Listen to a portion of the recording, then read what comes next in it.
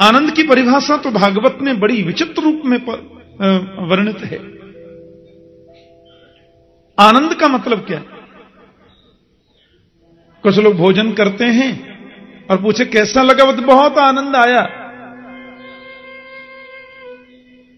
Air condition कमरे में सोए, सुबेरे उठे, कैसा लगा? बहुत आनंद आया।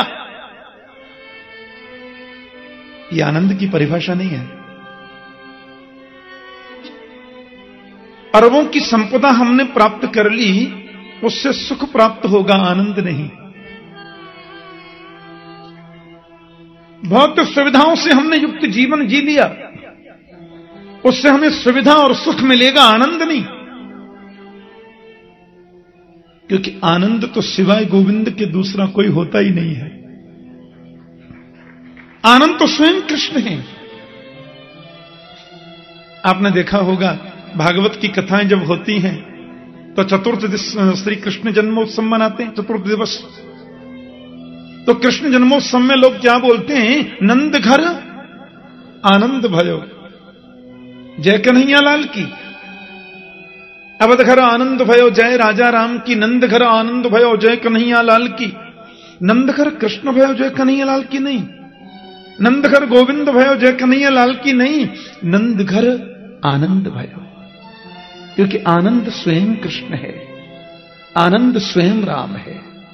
जो आनंद सिंध सुख राशि सी करते लोक सुपासी, सो सुख धाम राम असनामा।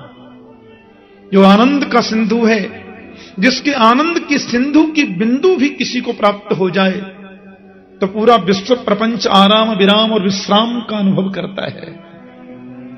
इसलिए राम ही आनंद है कृष्ण ही आनंद है।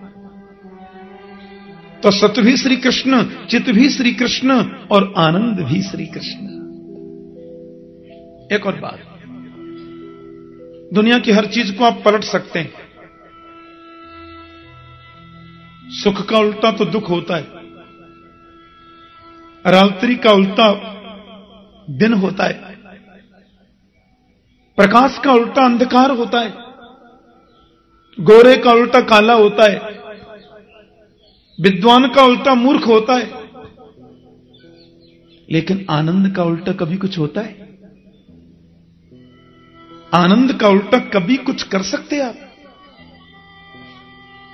एक सज्जन बोले, आनंद का उल्टा भी होता है महाराज। मैंने कहा, क्या होता है? बोले, आनंद का उल्टा होता है निरानंद। मैंने कहा, निरा तो तुमने अपनी तरफ़ से लगा लिया, आनंद तो जैसे कि तैसा ही है। और निरा तो हमने जोड़ दिया न जी। आनंद तो जैसे कितने तैसा है अब उसको निरानंद बोल दो, चाहे परमानंद बोल दो, चाहे ब्रह्मानंद बोल दो, चाहे विषयानंद बोल दो। उसके पहले निरा लगाओ, चाहे परम लगाओ, चाहे विष लगाओ, चाहे ब्रह्म लगाओ, लेकिन आनंद को आप पलट नहीं सकते। आनंद को बदला जा नहीं सकता, क्योंकि आनंद सत्य है, और वो त्रिकालावाधित सत्य है। आदि मध्यांत सत्य उसको आप बदल कर सकते हैं। तो सत्य भी श्री कृष्ण है, चित्त भी श्री कृष्ण है, और आनंद भी श्री कृष्ण है। विश्वोत्पत्तियादि तबे वो जरा सा मुस्कुराता है। सृष्टि का सृजन हो जाता है। वो जरा सा गंभीर होता है। सृष्टि का पालन हो जाता है।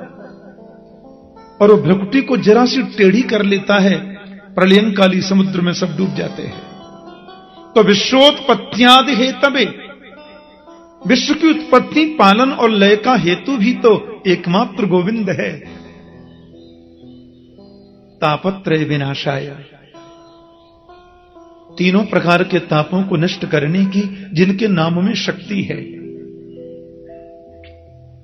तीनों ताप आध्यात्मिक ताप हो, चाहे आदि दैविक ताप हो, चाहे आदि भौतिक ताप हो, कोई भी ताप गोविंद के नाम के सामने रुक तो नहीं पाता तो तापत्रय विनाशाय, दैहिक दैविक भौतिक तापा, राम राज्य काहू नहीं? व्यापा।